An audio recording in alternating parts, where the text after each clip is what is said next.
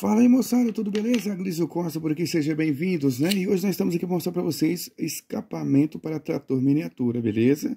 Colocando a sua miniatura no seu trator, você vai comprar um escapamento direto da gente aqui. O site na descrição do vídeo, www.miniaturasuberaba.com.br Ele tem mais ou menos 7 centímetros, tá bom?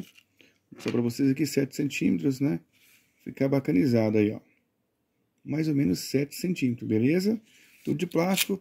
Então o site está na descrição do vídeo para você estar tá comprando os nossos produtos aí, tá bom? miniaturasberal.com.br Aguarde a sua compra. Aquele abraço, tudo de bom!